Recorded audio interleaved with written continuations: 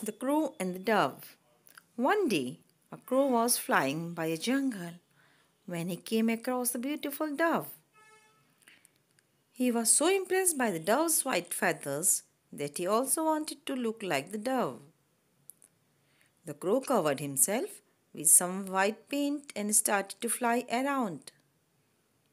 After some time, the white paint wore off only uneven patches of the paint remained. The crow was now starting to look funny. Everyone who saw the crow burst out laughing. The crow had learned his lesson.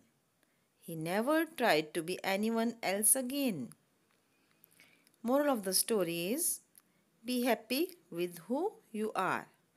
If you like the story, then please like, comment and share also.